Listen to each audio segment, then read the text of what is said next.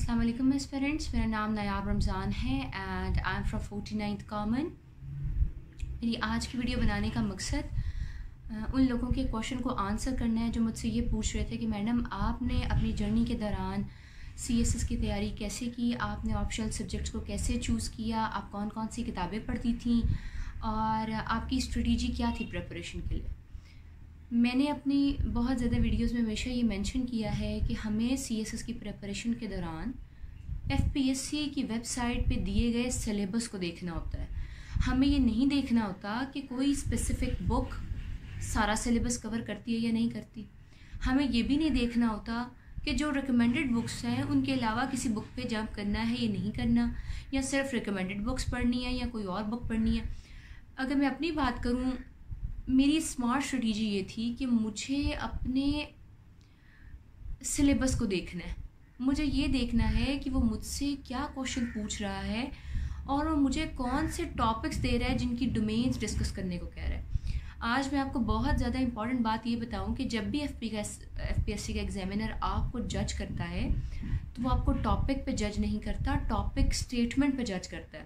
For example if he saying ना कि Sheikh Ahmad Sirhindi is the reformer of the second millennium इसका मतलब ये हरगिज़ नहीं कि आप शेख अहमद सरहिंदी रहमत की डेट ऑफ़ बर्थ लिखना शुरू कर दें या आप जो सवाल आपसे पूछा गया आप उसे एड्रेस करने के बजाय इधर उधर की डिटेल्स ऐड करना शुरू कर दें।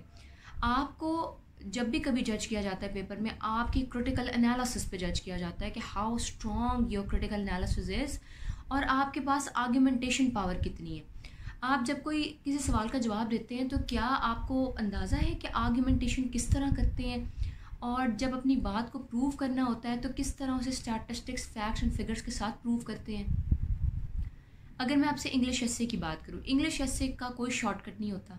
इंग्लिश एस्से को लिखना पड़ता है लिख कर एवेल्यूएट करना पड़ता है। अगर आप सेल्फ एवेल्यूएट कर लें दैट्स वेरी गुड अगर ना करें तो फिर अच्छे टीचर्स की खदमात लेते हैं आपकी हमारी एवेल्यूएशन करते हैं।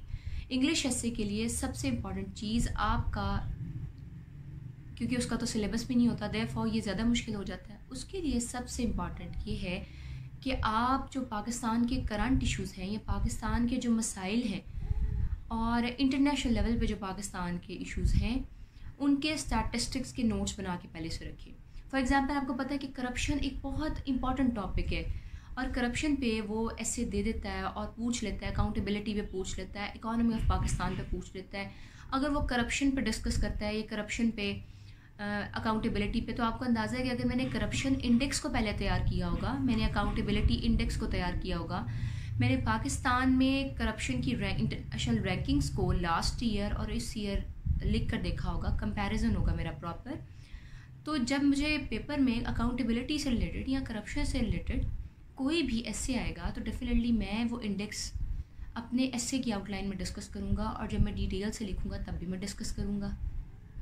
सिमिलरली अगर आपको ये पता है कि इकोनॉमी ऑफ़ पाकिस्तान पे वो आपको ऐसे देगा तो इकोनॉमी ऑफ़ पाकिस्तान पे इकोनॉमिक इंडिकेटर्स पहले से तैयार करके रखिए। यू शुड नो कि हमारी जीडीपी क्या है, हमारी जीडीपी ग्रोथ रेट क्या है, हमारा जीएनपी क्या है पीपीपी क्या है।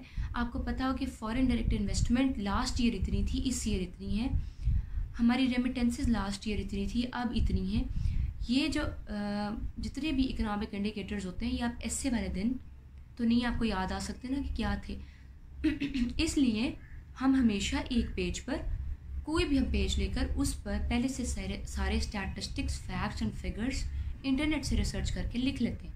ये अपडेटेड डाटा आपको कभी किसी किताब से नहीं मिलेगा। आप जो मर्ज़ी कर लें। ऐसा तो नहीं हो सकता ना कि फेबररी में एग्ज़ाम है और जनवरी में जो अब बुक पब्लिश हो जाए, सारे स्टैटिस्टिक्स को डिस्कस करने वाली, ऐसी बुक्स बहुत मुश्किल से पब्लिश होती हैं। इसलिए आप उनसे लास्ट ईयर के स्टैटिस्टिक्स तो ले सकते हैं, लेकिन जनवरी में हमारी एक्सपोर्ट्स कितनी इंक्रीज़ हुई या कितनी डिक्रीज़ हुई, ये तो आपको जनवरी के अखबार को पढ़ के ही पता चलेगा।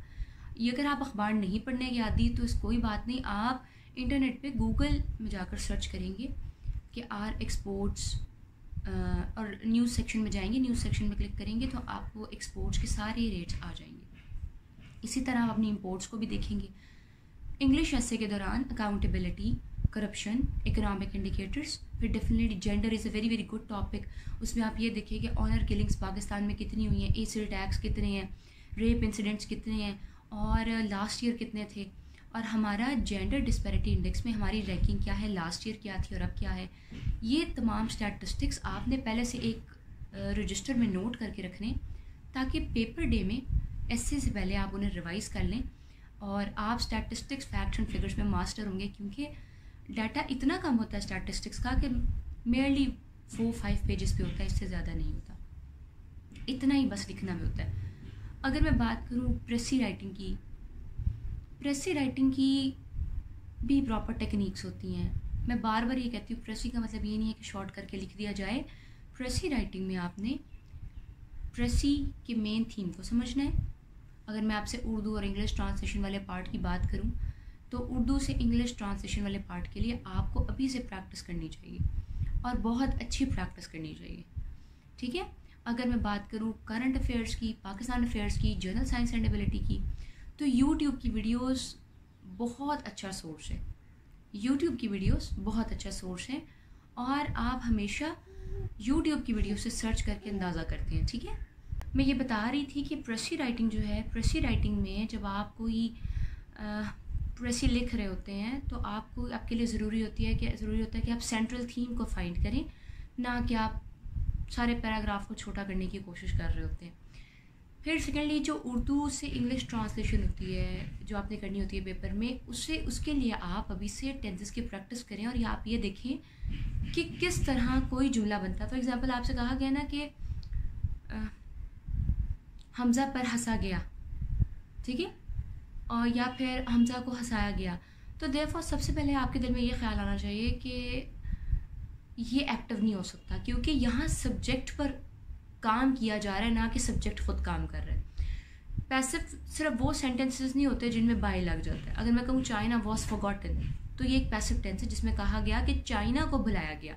ये आपकी फ़र्स्ट ईयर सेकेंड ईयर की बुक्स में भी मौजूद होता है। तो इसलिए जब हम प्रेसी राइटिंग का पेपर कर रहे होते हैं तो ये बात बहुत इंपॉर्टेंट होती है कि एक तो हमें प्रॉपर टेंसेस का हो कि जब उर्दू में ये सेंटेंस आएगा तो इसकी कन्वर्जन इंग्लिश में कैसे होगी। इस चीज़ की प्रैक्टिस इस पैराग्राफ की प्रैक्टिस करने से ना सिर्फ़ आपको कमांड हो जाती है उर्दू से इंग्लिश ट्रांसलेशन करने में, बल्कि जब आपके दिमाग में सेंटेंसेस फॉर्मुलेट हो रहे होते हैं उर्दू में तो उन्हें इंग्लिश में कन्वर्ट करना भी आसान हो जाता है। फॉर एग्ज़ाम्पल आप लिखना चाह रहे हैं ना कि इंडिया और पाकिस्तान अच्छे ताल्लुकात नहीं रखते तो डिफ आपको फ़ौर डेफिनेटली आपको फ़ौर ख्याल आ जाएगा कि इसको, ये कौन सा टेंस है उर्दू में? और अगर मैंने इसे इंग्लिश में कन्वर्ट करना है तो इसके लिए कौन सा टेंस इस्तेमाल होगा? एक्टिव और पैसिव वॉइस की प्रैक्टिस आप इस तरह करें कि अगर सब्जेक्ट जो है, वो खुद काम कर रहा है दैट इज़ एक्टिव और अगर सब्जेक्ट पे काम हो रहा है तो दैट इज़ पैसिव और ये उर्दू में भी आपके लिए बहुत बड़ी जो है ना वो आ, निशानी होती है कि आपको अंदाज़ा हो जाए कि सब्जेक्ट खुद काम नहीं कर रहा तो ये एक्टिव केस नहीं हो सकता। इसलिए इस पर एक्टिव केस के रूल्स भी अप्लाई नहीं हो सकते। ये डेफिनेटली पैसिव ही होगा इसीलिए इस पर पैसिव के रूल्स अप्लाई हो रहे हैं। फिर अगर हम बात करें करंट अफेयर्स की जीएसए की और कर पाकिस्तान अफेयर्स की पाकिस्तान अफेयर्स करंट अफेयर्स और जीएसए इनका तीनों का एग्रीगेट होता है। यानी फॉर एग्जांपल अगर आपके एक सब्जेक्ट में कम मार्क्स हैं और आप एक सब्जेक्ट में फोर्टी नहीं क्रॉस कर सके तो इट डजेंट मैटर आप उसी को दूसरे किसी सब्जेक्ट से अकोमोडेट कर सकते हैं। तो करंट अफेयर्स पाकिस्तान अफेयर्स और जीएसए के लिए यूट्यूब की वीडियोस बहुत बेनिफिशियल हैं। आप यूट्यूब की वीडियोस देखें और अगर देखें दो दो एराज होते हैं। एक तो पास्ट आपने मतलब पास्ट में देखना होता है ना किसी टॉपिक को। फॉर एग्जांपल अफ़गानिस्तान है। ये जो पास्ट में देखने वाली सब चीज़ें, इनके लिए कोशिश करें कि Vox V U X Vox जो है यूट्यूब पे एक बहुत अच्छा चैनल है करंट अफेयर्स के लिए। इसके अलावा टी आर टी है और स्टार्ट हेयर अल जज़ीरा का स्टार्ट हेयर प्रोग्राम है। ये बहुत इंपॉर्टेंट प्रोग्राम्स हैं जो कि आपको इंटरनेशनल इश्यूज़ का और नेशनल इश्यूज़ का जो पास्ट होता है उन पर आइडिया करवा देते हैं। अब अगर हम बात करें कि करंट सिचुएशन को कैसे देखें करंट सिचुएशन के लिए मैंने अपने स्टूडेंट्स को बार बार रिकमेंड करती हूँ और एस्पेरेंट्स को भी बार बार रिकमेंड करती हूँ कि आप गूगल सेक्शन पे जब जाकर वो टॉपिक लिखते हैं ना for example economy of Pakistan तो नीचे न्यूज़ सेक्शन होता है। न्यूज़ सेक्शन को क्लिक करेंगे तो अपडेटेड आर्टिकल्स आ जाएँगे। उन आर्टिकल्स को देखिए, उनको स्टडी करें। वहाँ पर किसी भी टॉपिक की हर डोमेन को डिस्कस किया होता है। पहले actually they hit the bulls आए, वो फ़ौरन जो हेडलाइन दी होती है, उसके बारे में एक्सप्लेन करते हैं, फिर दरमियान में उनको ख्याल आता है कि शायद रीडर को हिस्ट्री पता है या नहीं पता। तो फिर वो दरमियान में इन दी आर्टिकल वो डिस्कस करते हैं हिस्ट्री को, इसके बाद एंड पे कंक्लूजन होता है। फॉर एग्ज़ाम्पल आपको लगता है कि पाकिस्तान रशिया के टॉपिक पे या पाक इंडिया के टॉपिक पे आपने पहले सारी प्रेपरेशन कर ली, आपको पास्ट में सब पता है कि पाकिस्तान इंडिया रिलेशन कैसे रहे। लेकिन करंट में क्या होगा और सोल्यूशन क्या होंगे, उसके लिए आपने तैयारी करनी है। तो आप गूगल सेक्शन में पाक इंडिया रिलेशन लिखेंगे और न्यूज़ सेक्शन को क्लिक करेंगे तो इतने डिफरेंट अच्छे अच्छे अखबार हैं, अच्छे मैगजीन्स हैं जिनके आर्टिकल्स आ जाएँगे। उन आर्टिकल्स के एंड पे कंक्लूजन लिखा होता है कि सजेशंस ये होनी चाहिए, अगर हमने पाकिस्तान इंडिया के रिलेशन को इम्प्रूव करना है तो ये होना चाहिए फ्यूचर प्रॉस्पेक्ट्स बताते हैं। क्योंकि इन तमाम सब्जेक्ट्स में आपका क्रिटिकल एनालिसिस बहुत मैटर करता है। जहाँ तक मैं जी की बात करूँ जनरल साइंस एंड एबिलिटी में आपको दो ही चीज़ों पे कमांड करनी है, एक तो साइंस पे जो बायोलॉजी केमिस्ट्री फिज़िक्स है और दूसरा मैथ्स पे। इसके लिए यूट्यूब की वीडियोस बहुत अच्छा सोर्स होती हैं। यूट्यूब पे आपको सारा समझाया जाता है। आप ये कोशिश करें first year second year nine tenth first year second year की आप वीडियोज़ देखें। तो you will come to know कि उन्होंने कितने अच्छे तरीके से समझाया होता है कि हार्ट जो है किस तरह पंपिंग करता है। हार्ट के आ, कौन कौन से एसोसिएटेड पार्ट्स हैं और हार्ट जो है उसकी फंक्शनिंग क्या है, इसकी इंपॉर्टेंस क्या है, ये कितने लीटर ब्लड पंप करता है, सब कुछ जो है ना उन्होंने समझाया होता है बहुत डिटेल से। और याद, अगर आपको नहीं याद, आपको हिफ्स नहीं है, आपको हदीस जो है नहीं लिखनी आती तो इस्लामियात का पेपर फिर थोड़ा ट्रिकी हो जाता है। आप इस्लामियात के पेपर में रेफरेंसेस को कोट किए बगैर, या फिर आप आयात लिखे बगैर, हदीस लिखे बगैर एक्सप्लेन नहीं कर पाते जो आप कहना चाह रहे होते। फॉर एग्ज़ाम्पल आप कहते हैं ना कि नमाज़ के बारे में आप लिखते हैं कि नमाज़ आँखों की ठंडक है, और आप इस स्टेटमेंट को आर्ग्यू कर रहे होते हैं एग्जामिनर के सामने कि येस इट इज़ तो आपको ये समझ नहीं आता कि मैं कौन कौन से एसोसिएटेड आयात कौन कौन सी एसोसिएटेड आयात और हदीस के ज़रिए अपनी बात को प्रूव करूँ। मैंने आपको बार बार कहा कि सी एस एस ऐसा कॉम्पिटिशन है जो हर ग्रेजुएशन करने वाला बंदा कर सकता है। लेकिन बात सिर्फ़ इतनी सी है कि आपकी आर्ग्यूमेंटेशन और आपकी रीजनिंग बहुत स्ट्रांग होनी चाहिए। अगर आपकी आर्ग्यूमेंटेशन बहुत अच्छी है, आपकी रीजनिंग बहुत अच्छी है तो ये पेपर आपके लिए इतना आसान होगा कि आप इमेजिन भी नहीं कर सकते कि ये इतना आसान हो सकता है।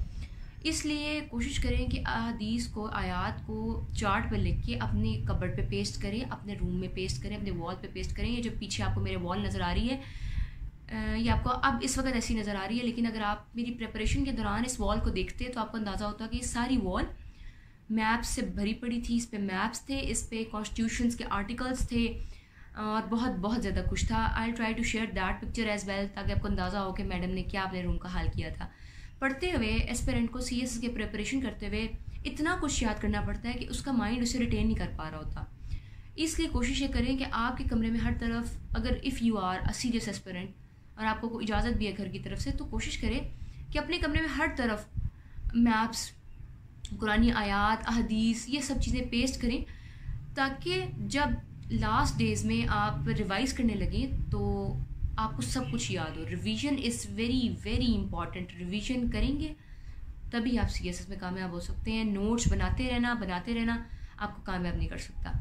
इन कोशिश करूँगी अपनी नेक्स्ट वीडियो में आपसे ऑप्शंस के बारे में भी डिस्कस करूँ कि ऑप्शंस की प्रिपरेशन किस तरह करते हैं। And I feel myself more good in optionals तो ऑप्शनल्स के बारे में भी आपको डिटेल से एक्सप्लेन करूँगी। इंग्लिश के लिए इंग्लिश एस के लिए स्टार्ट राइटिंग कल छोड़ के अभी से लिखना शुरू करें क्योंकि ये ऐसी चीज़ है जो कि सिर्फ़ देखने से नहीं आती।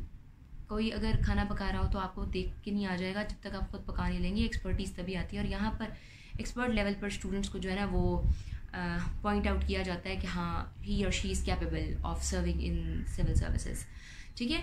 तो अब इंग्लिश ऐसे को लिखना शुरू करें और प्रेसी के लिए और उसके पैराग्राफ्स के लिए टेंसेस उर्दू में सेंटेंस को देखकर फिर टेंस में कन्वर्ट करना स्टार्ट करें। अगर वोकेबलरी की बात करें G R word list is very very good लेकिन मैं वोकेबलरी पे एक अलहदा सी वीडियो बनाऊँगी, जिसमें आपको वोकेबलरी पे बताऊँगी कि वोकेबलरी किस तरह होती है। अपना ख्याल रखें और पेरेंट्स को मेरा सलाम दें। Thank you very much